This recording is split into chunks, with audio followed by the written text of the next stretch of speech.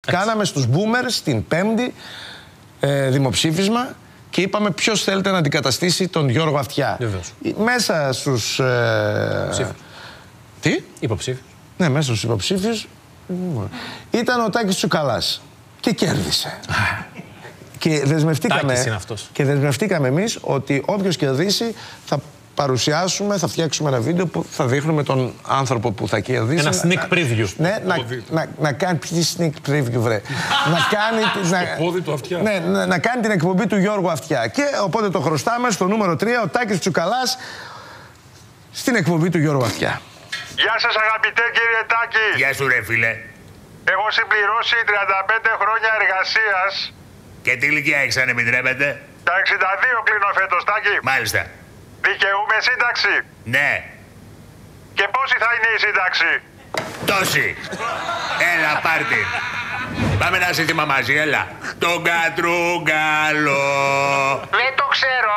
Α, Σύνταξη θα πάρουμε όλοι. Τρεις και έξι, τρεις και εξήντα δεκαετή. Θα ψοφήσουμε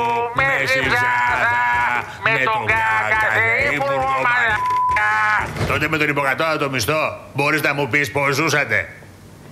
Εντάξει, αλλά σώσαμε τη χώρα. Άντε γεια! Πάρτα! Χωρίς αναλογική προσαρμογή με τριετίες 427 ευρώ! Χωρίς συλλογικές διαπραγματεύσεις! Γαμπήριζα!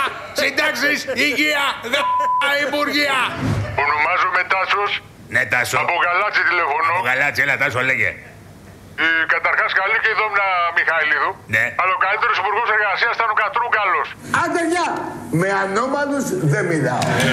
Κάπως έτσι θα ήταν ε, η εκπομπή του Γιώργου Αυτιά ε, αν την παρουσίαζε ο Τάκης Τσουκαλάς με αυτήν τη θεματολογία. Δυστυχώς δεν θα ζήσουμε αυτές τις μαγικές στιγμές. Δεν ξέρεις ποτέ. Δεν ξέρεις. Ποτέ δεν ξέρεις, ναι, ποτέ δεν μετάφραση ξέρει. μπορεί δεν να- έχει ιδέα. Μπορεί να μην μείνει κανένας.